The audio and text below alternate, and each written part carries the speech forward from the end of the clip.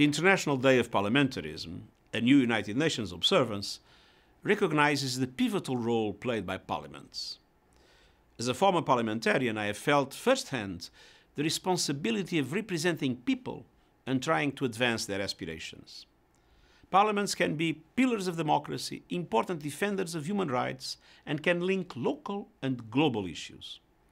Through laws and spending decisions, they can contribute significantly to achieving the Sustainable Development Goals, our blueprint for peaceful, resilient societies on a healthy planet.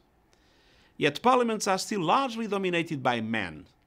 The world needs more women parliamentarians. As we mark this new International Day, I express my support for members of parliament worldwide as they strive to deliver for the people they serve. Thank you.